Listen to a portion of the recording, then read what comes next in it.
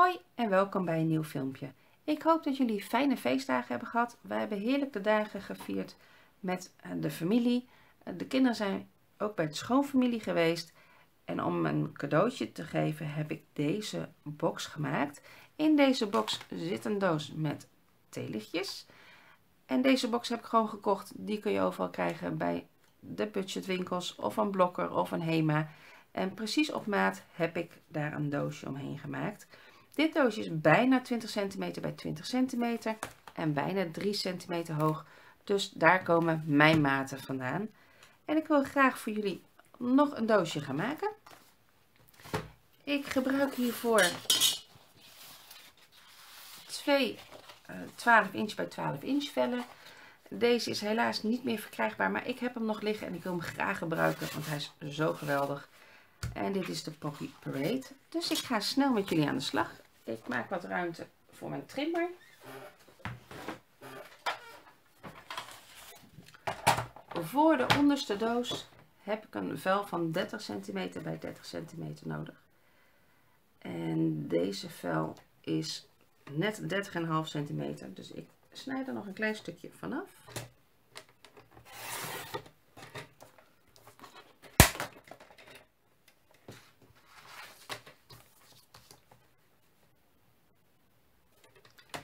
En dat doe ik aan twee kanten, zodat hij 30 bij 30 is. En dan ga ik mijn eerste rillijnen maken. Eerst ga ik alle vier de kanten rillen op 2 centimeter.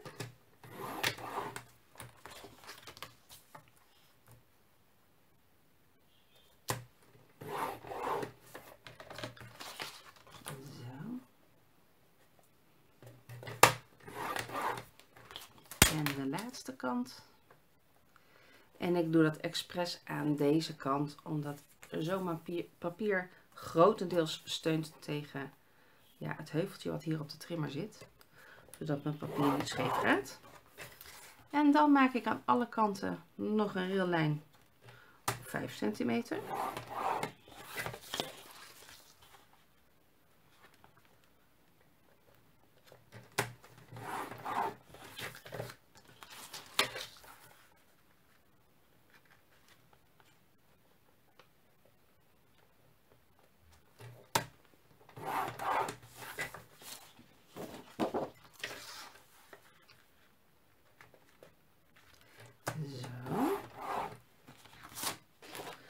Dan neem ik uh, Designer Series Paper eh, voor de bovenkant.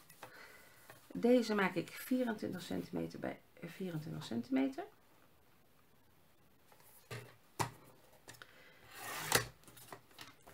Deze snijd ik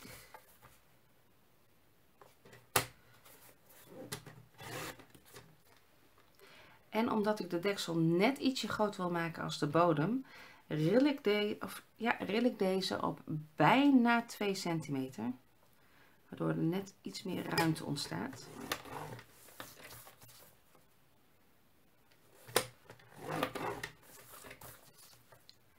Zo. En dit is de, laatste. En dan leg ik de trim opzij. En dan gaan we de box vouwen. Ik ga eerst alle rillijnen vouwen. En deze maak ik wat scherper met mijn boomfolder.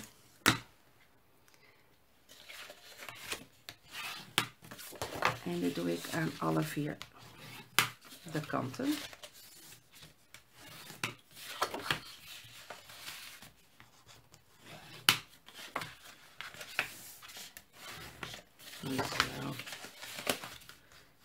En dit is de laatste kant. En dan heb je uh, dit, hij past net niet helemaal in beeld zie ik. En dan gaan we hem knippen. Uh, omdat ik twee randen heb, daar heb ik speciaal voor gekozen om de box wat stevigheid mee te geven. Haal ik eigenlijk dit stukje weg en dit stukje moet weg. En dit wordt het flapje om hem vast te plakken. Dus dat ga ik op vier kanten knippen en dat begin ik aan deze kant. Knip ik tot aan de tweede rillijn. Deze knip ik ietsje in Aan die kant knip ik ietsje in. Dit gaat helemaal weg. Dus ik knip deze kant ietsje in. En dit tapje knip ik er ook af. En dan knip ik hier ook nog iets in. En dat is allemaal om de box wat makkelijker dicht te kunnen vouwen. dit herhaal ik op alle vier de punten. Dus deze knip ik tot aan de tweede rillijn. Ik knip hem ietsje in. Aan deze kant knip ik hem ietsje in. Deze het flapje eraf. En dan knip ik ook nog in. En dan ziet de ene kant er zo uit. Dit herhaal ik ook aan de andere kant.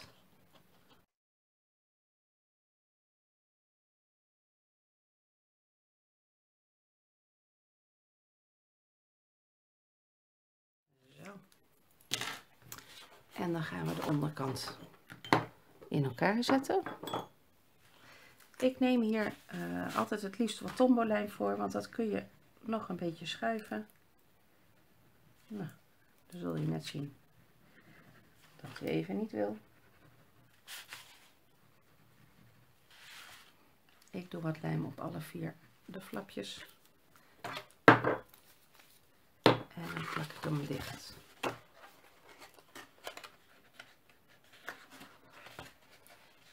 Tombo heeft wel heel even tijd nodig om te drogen. Dus je zou het ook met dubbelzijdig tape kunnen doen. Dan zit het gelijk vast. Maar dan zit het ook echt gelijk vast. En heb je dus geen ruimte om hem nog een beetje te wiebelen. Zo. En dit is de laatste. Dan ga ik aan de binnenkant van deze stroken wat lijm doen, zodat ik hem dubbel kan slaan.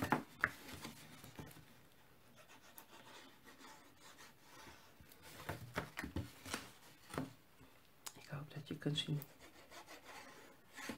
wat ik doe.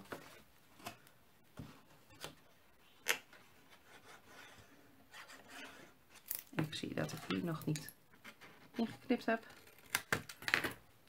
Dus dat doe ik gewoon even. En dan op de laatste doe ik wat lijm. En dan vouw ik de rand naar binnen.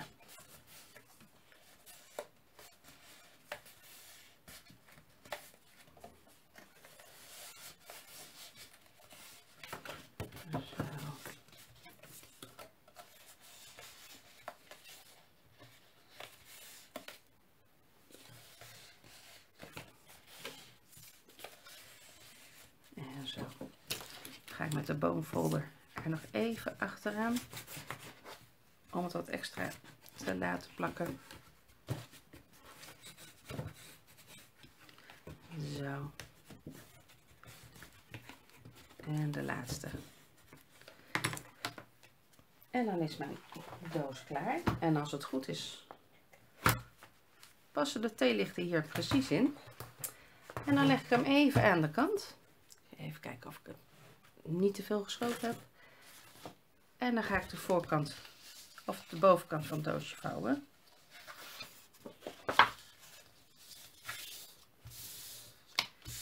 Hier zijn de raillijnen wat lastig te zien omdat het papier ook gewoon dikker is.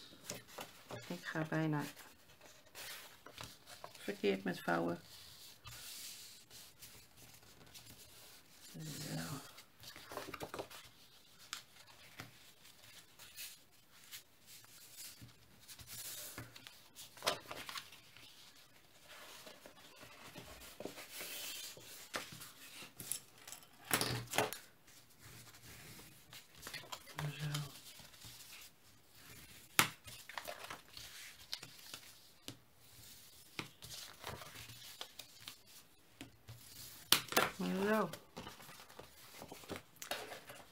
En dan ga ik hier ook inknippen.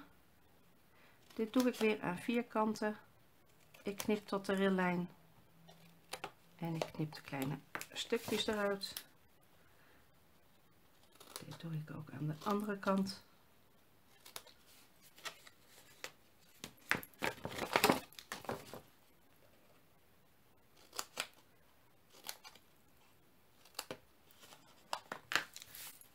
Zo. En dit is de laatste kant. Deze ga ik nu dicht plakken. En door dat uh, zachte ja, stof, zeg maar, is het wat lastiger om dicht te plakken. Ik gebruik goed wat Tombow. Ik hoop dat het gaat lukken. Als leidraad neem ik de onderkant van mijn box erbij en dan leg ik deze eroverheen. Zodat ik precies een hoekje heb. En aan deze kant ook een hoekje.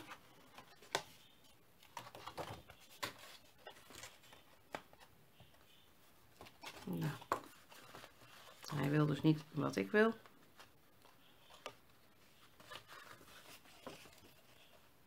Zo. En hij zit vast.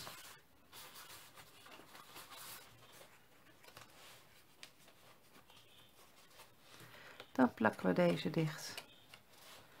En deze plakken we ook dicht. En dan zit de deksel als gegoten. Dan is de box klaar. Nou, er zit hier een dingetje op. Daar gaat hij vanaf. Dan is de box klaar. Dus we gaan hem um, versieren. En dan zit ik even te denken hoe ik dit ga doen. Ik heb wat lint.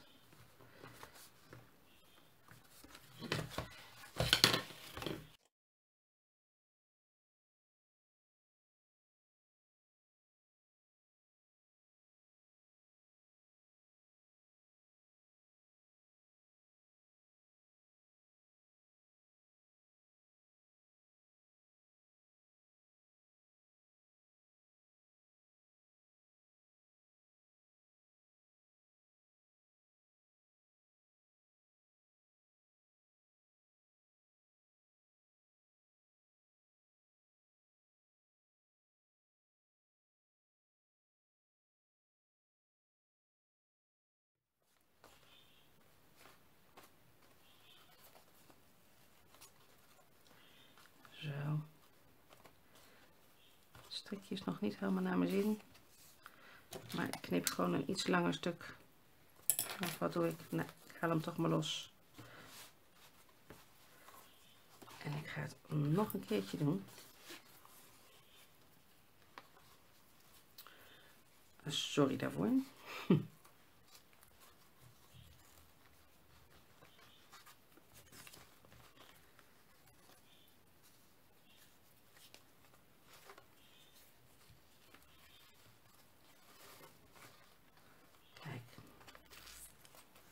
Deze is veel mooier.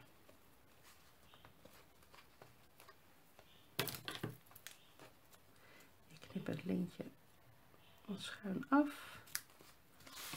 En dat doe ik aan de andere kant ook. Zo. Dan wil ik er nog heel graag deze kerstman op plakken. Die komt ook van Designer Series Paper. Die heb ik uitgeknipt. En die staat gewoon heel leuk op dit doosje. Die plak ik op met Dimensionals. Nou ben ik misschien uit beeld. Sorry daarvoor.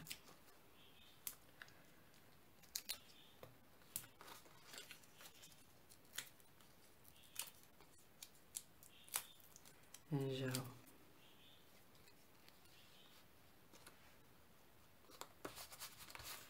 Die hoek. En dan wil ik er nog even een kleine tag aan maken. Hiervoor gebruik ik een stukje Whisper. Ik heb, even kijken hoor, van de Labels to Love heb ik deze genomen. Ik neem Poppy Parade Inkt.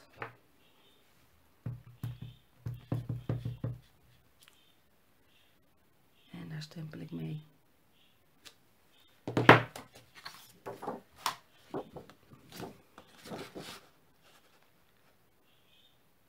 met Everyday Label Punch. Pons ik hem zo uit. En die wil ik dan hier een bovenhoekje hebben. En hiervoor gebruik ik um, Hidden Cludots. Dat is het makkelijkst.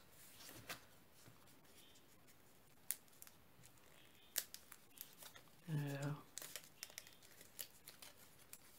doe er goed een paar op. Plaats hem hieronder. En mijn box is klaar. Dus um, dit heb ik gegeven met de kerst. Ik hoop dat jullie het leuk vinden. En um, ik wens jullie alvast een gelukkig nieuwjaar. Want ik ben pas in het nieuwjaar weer terug met een nieuw filmpje. Heel veel plezier, geniet van elkaar en tot de volgende keer. Doei!